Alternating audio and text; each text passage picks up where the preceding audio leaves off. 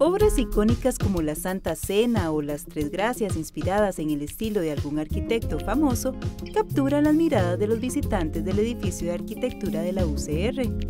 Este peculiar mural fue diseñado por los estudiantes del curso Fundamentos de Diseños 2 de la carrera de arquitectura.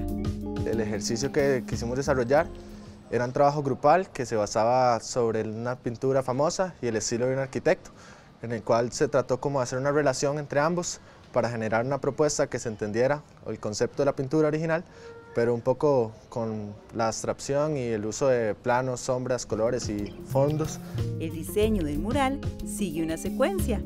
Cada segmento fue realizado por un grupo de cuatro estudiantes del curso. Celeste y Jorge son dos de los estudiantes que participaron en la confección del mural, con el óleo de Napoleón cruzando los Alpes.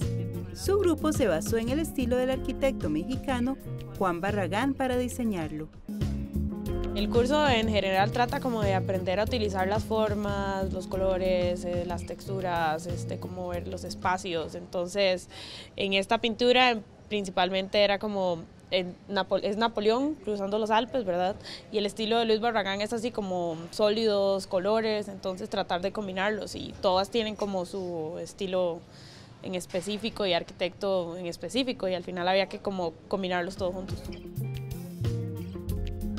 Esta es la tercera vez que se realiza el mural. Al finalizar el curso, las piezas se trasladarán a una facultad de la UCR que lo solicite, a cambio de una pieza en blanco para seguir con esta iniciativa creativa en el próximo semestre.